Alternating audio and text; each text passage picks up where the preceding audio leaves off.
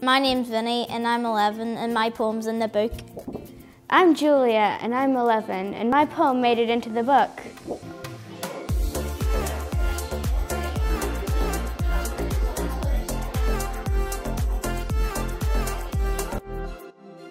Express Yourself is a, a, mental health children's poetry competition.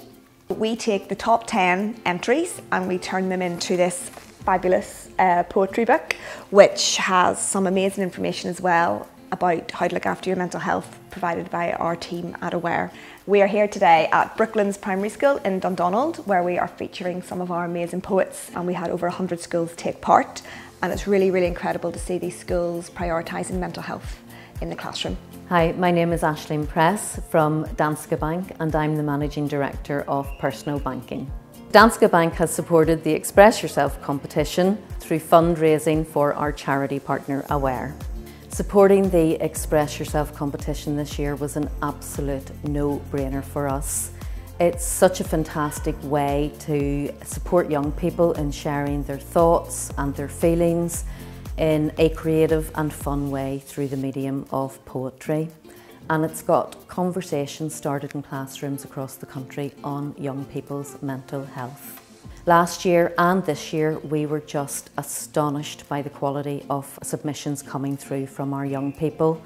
And we can't forget that over the past couple of years, our young people have really struggled uh, with impact on their social lives, on their educational lives, and actually starting those conversations amongst P6 and P7s in our schools on mental health will really help them deal with the challenges they face.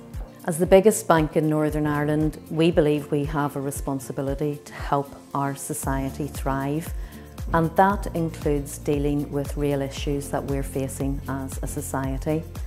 And there's no doubt the past couple of years have been really challenging for all of us as we have had to focus more on our mental well-being.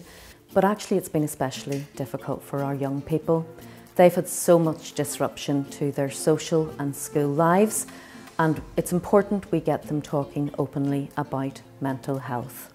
A key part of our partnership with Aware is supporting the amazing work they do with young people across Northern Ireland.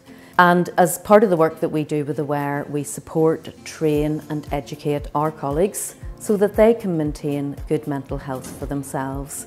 But it also helps them at times when customers need support.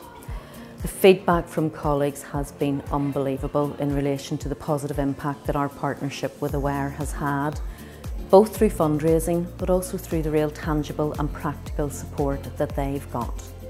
And whilst our key driver is to support Aware, actually it's really been benefiting our colleagues and customers as well through the knowledge that they're able to share on mental health.